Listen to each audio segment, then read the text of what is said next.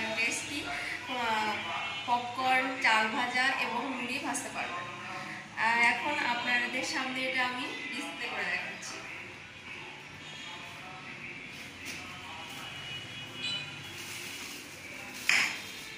এটা হচ্ছে ঢাকনা। আর এটা দিয়ে আপনারা যে পরিমাণ চাল বা পপকর্ন ভাজবেন, সেই পরিমাণ নিতে পারবেন।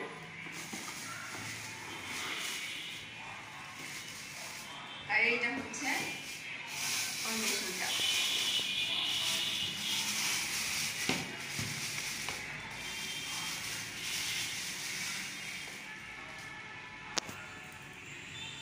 স্টার্ট এটাকে এবার আমরা লাইনে দিব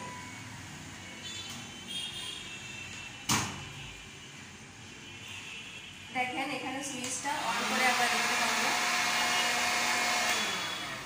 অফ করে দিলাম। এবার এটাকে আমরা বসাবো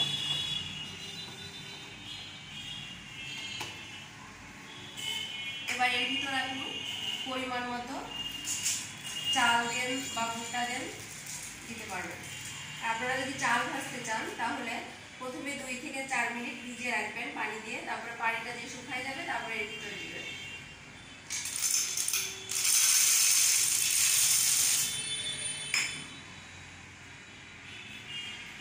এবার আমরা এখানে একটা বাটি দিয়ে দিব, যাতে ওটা বাইরে না পড়ে যায়। এবার আমরা সুইচটা অন করব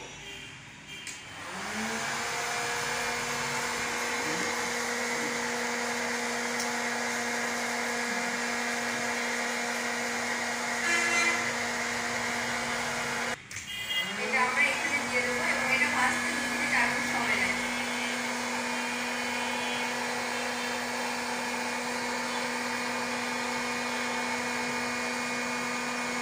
দেখুন অলরেডি ফোটা শুরু করে দিয়েছে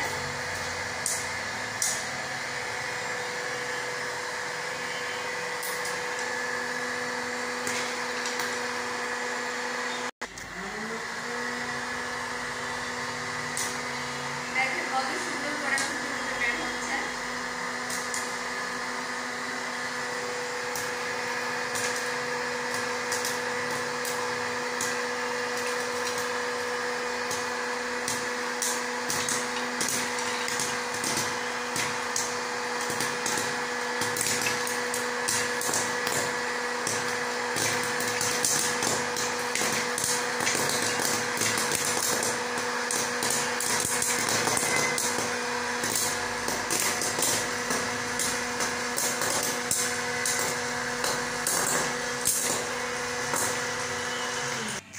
দেখেন কত সুন্দরভাবে আমাদের পপকর্নগুলো তৈরি হয়ে গেল। এটা পুরো অয়েল ফ্রি এবং টেস্টি আপনি এটা যদি বা চান, বিট লবণ দিয়েও মাখিয়ে খেতে পারেন। আমি আপনাদের এটা খেয়ে দেখাচ্ছি। দেখেন, একদম পুরো অয়েল ফ্রি এটা হচ্ছে আপনার আপনি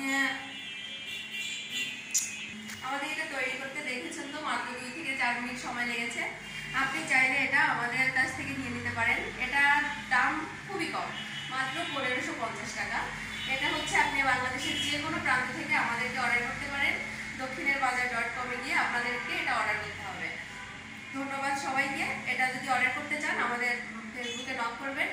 আমরা আপনাদেরকে ঠিক সময় মতো এটা পৌঁছে দিব।